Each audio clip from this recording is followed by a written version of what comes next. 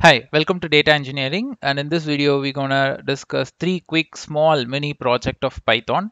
So the very first one is play sound and then color to black and white, color images to black and white and then pie chart representation for the data. It's it's a very small program and that's the reason I just combined these three programs into like in a one video. So there is no interlink between these programs. So it's just I thought of doing these videos separately but then like the code and the content is very minimum and that's the reason I made it as a one single video okay let's go to the very first project so it's like i'm gonna uh, give an audio file as an input and then the sound uh, means the audio will be get uh, played automatically uh, with this uh, play sound uh, API, the library, you can install it with pip install play sound and then file name. You can give your MP3 uh, file path and then you can invoke play sound dot play sound and then you can give file name as the input. So if you see here, I have my uh, mm, audio here, AUTIX. So now I'm gonna uh, run this. So if i run this so automatically the the audio will be get played and it will not open with any media player that got installed in your machine. It just plays automatically. So the use case i will tell you. So what you can do with this you can build your own mp3 player. Uh, if you know tkinter library in python we have the tkinter which use by which we will develop web applications sorry uh, desktop applications. And then we have one more library called flask which by using you can build web applications. So you can add these three lines of code with tkinter or flask and you can build an application like mp3 player as i told you. So this is a use case. So let me run this. So once i invoke this you can able to uh, hear the sound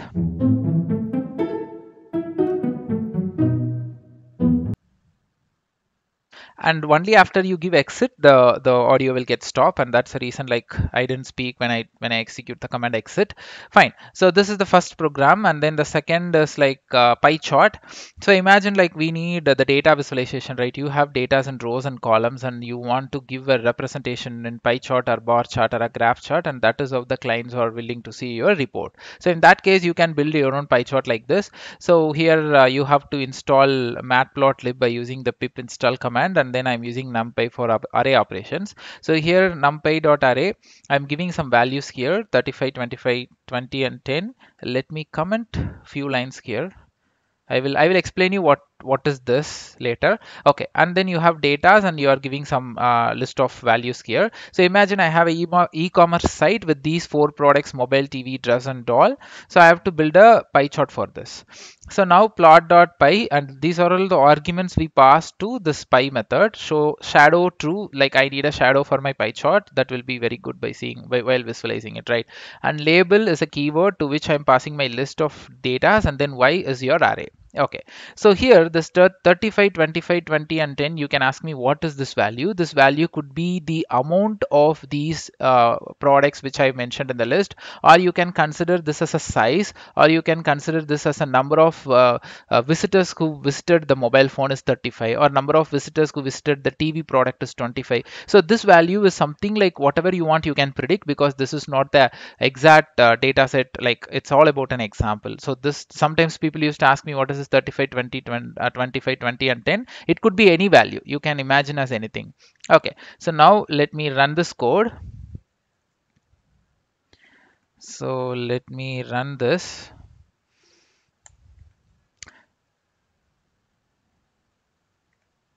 Okay, so here if you see we got the chart and mobile phone has like uh, the huge difference compared to uh, TV or dress or uh, doll. Uh, if you see like the first largest is mobile, second largest is TV, third largest is dress and fourth is doll.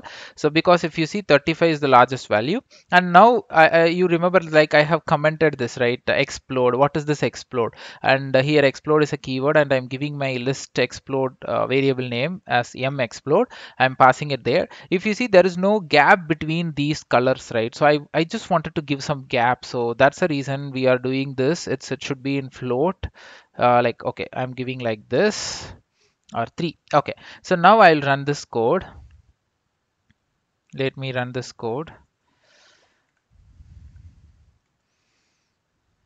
Okay, so if you see here, like the gap, the distance between each of these uh, values, data values, right? So for that reason only, we are going for explode. And if you see like red is like it's far away from the uh, group, right? The reason is it has the value 0.6. So you can give very nearer one, uh, small value and uh, I can show you the difference between these two charts now after explode and before explode fine so this is done and I also told you the use case. And now next is I, I, I just want to convert my color image to black and white. It's a very simple uh, two lines of code again.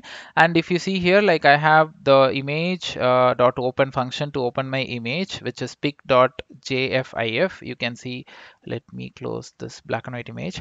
You can see this is the image the color image. I just wanted to convert it to black and white. So image dot convert L. What is L? Luminance. Luminance means like L is grayscale. So before before doing any image processing, they will convert the image from color to grayscale so they can identify the objects clearly. So here L means black and white and if you want to convert it to some other color, then you have to use P here. That means platicide. So this is something they use this RGB combination, red, blue, green combinations, right? So that is where the P for, but we use L because we need black and white.